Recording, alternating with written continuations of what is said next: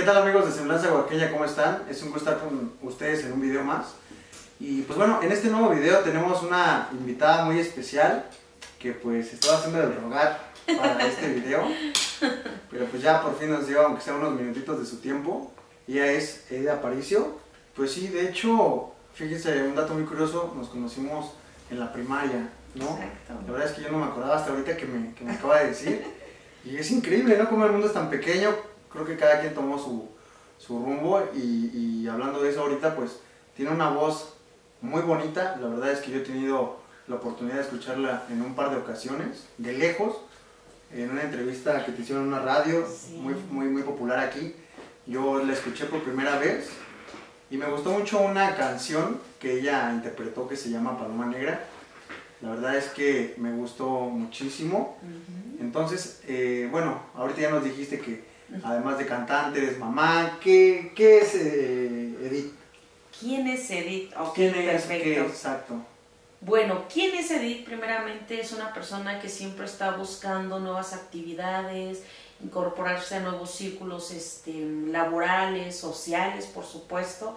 Es una mujer emprendedora porque me gusta siempre generar. Eh, ¿Qué soy? Soy una persona humilde, de valores. Yo siempre lo he dicho, soy, eh, soy del pueblo y para el pueblo. Siempre me, he captado de esa parte.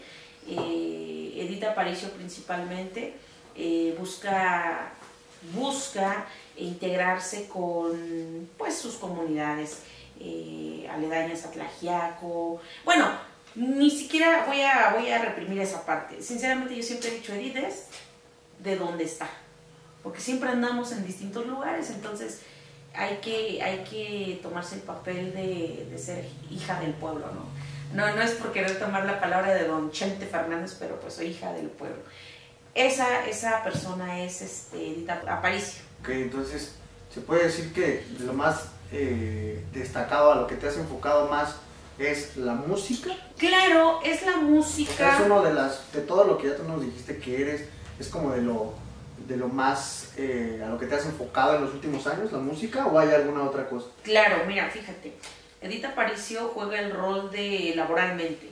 Este, tengo un taller de piñatas que se llama El Mundo Mágico de Luna, dice propaganda.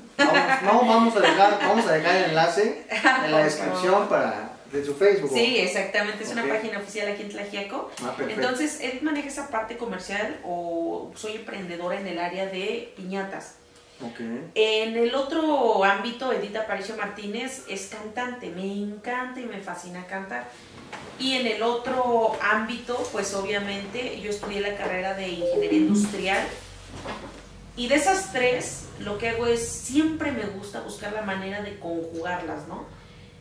El Mundo Mágico de Luna, Edith Aparicio Martínez cantando, tengo ahí también una página, y Edith este, en la parte industrial.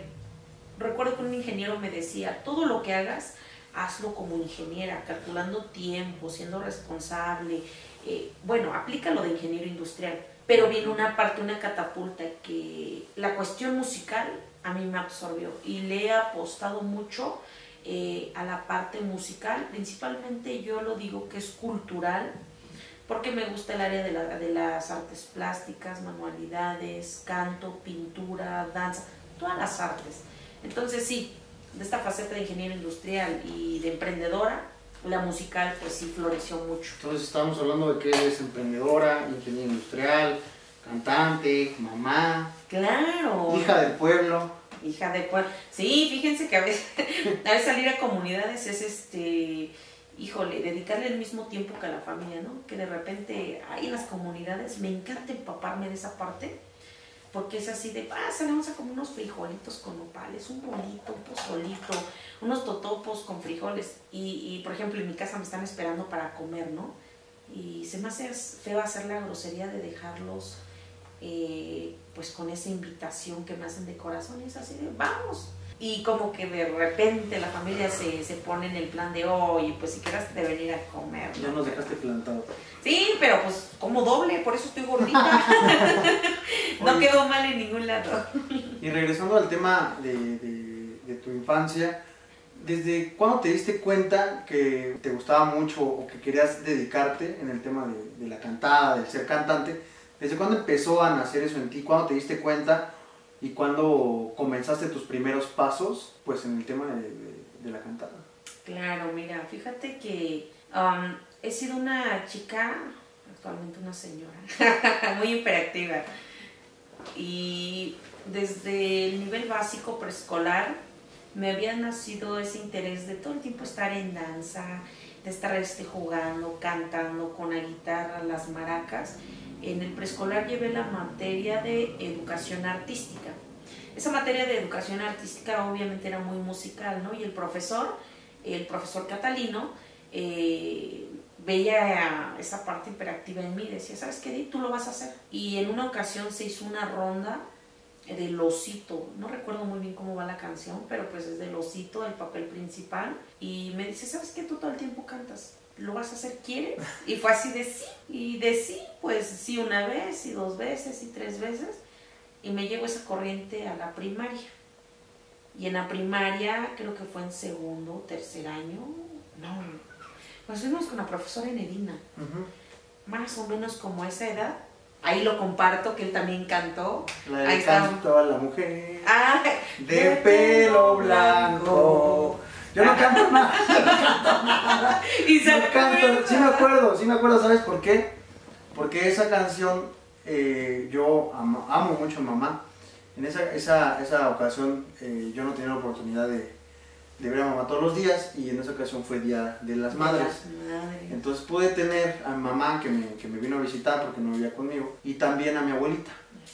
Entonces al tenerlas yo a las dos, pues la verdad es que fue algo muy bonito para mí y pues sí canté con mucha emoción, no les voy a decir que canté a lo mejor afinado o como canta Edith, ¿no?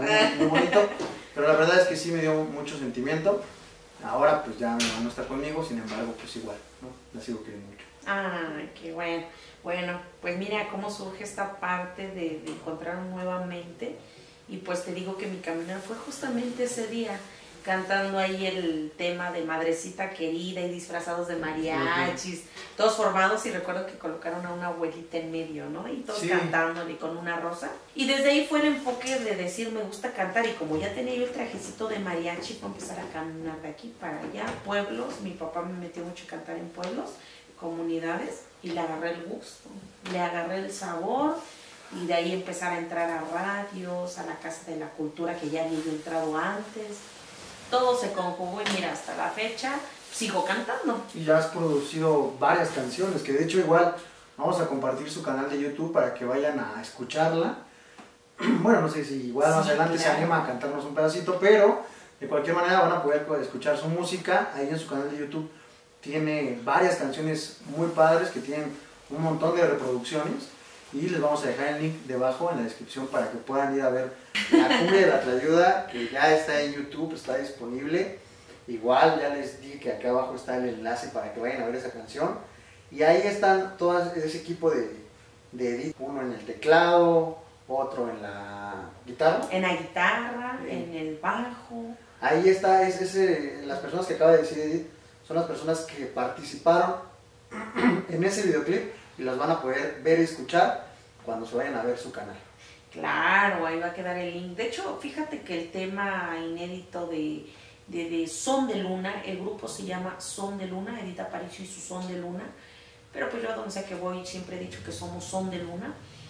Eh, trabajo el tema de la cumbia de la Tlayuda en autoría del profesor José Manuel Cruz Velasco y en edición musical obviamente las ideas fue en equipo, pero quien se encargó de estar ahí coachando fue este, pues el ESBAN en coordinación con Germán y con Emma. Todo el tiempo los chicos trabajando y pues ahí yo metiéndole voz, ¿no? Y ese tema es muy propio de Son de Luna y muy propio de Tlajiaco, de la región mixteca y por supuesto de todo el estado de Oaxaca y principalmente de los mexicanos, porque imagínate, la tlayuda es la gastronomía oaxaqueña. Claro yo lo que les puedo decir, a mí me encanta la tlayuda. A todos los oaxaqueños nos abandera la tlayuda. Entonces, el tema de la tlayuda, valga la redundancia, es un himno.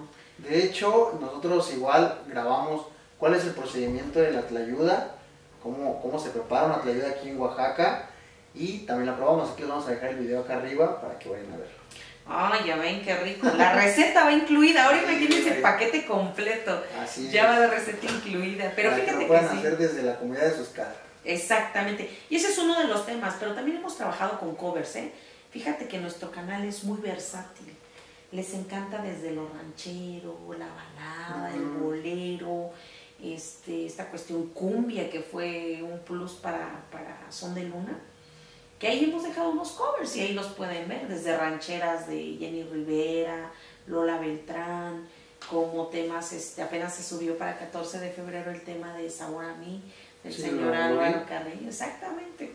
Ahí está. ¿Y ¿Está disponible en todas las plataformas o solo en YouTube? Está en YouTube, eh, en Spotify tenemos la comida de la Tlayuda. Eh, también manejamos Instagram. Instagram ahí lo encuentran como Edita Aparicio Martínez.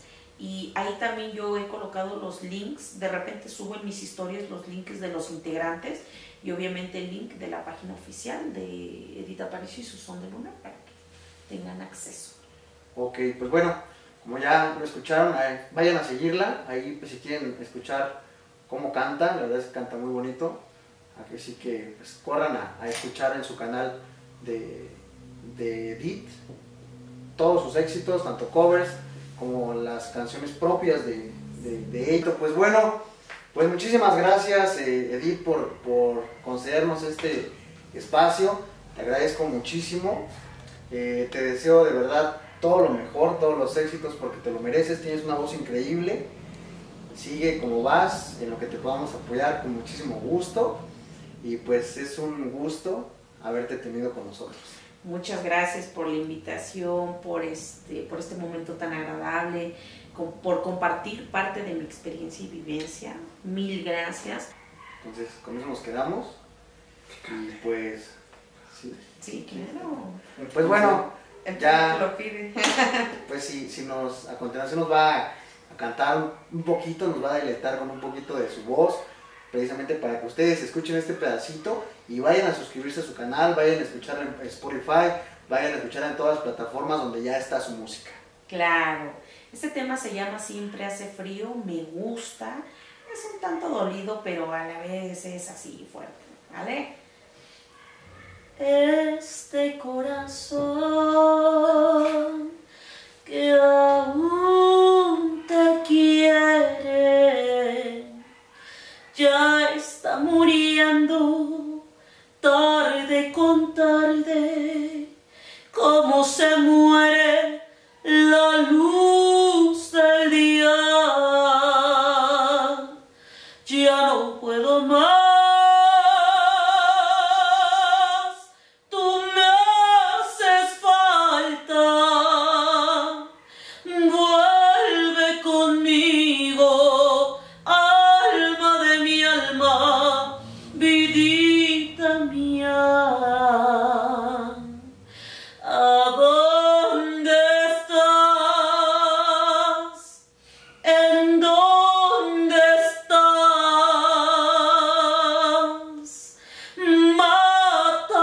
Yeah.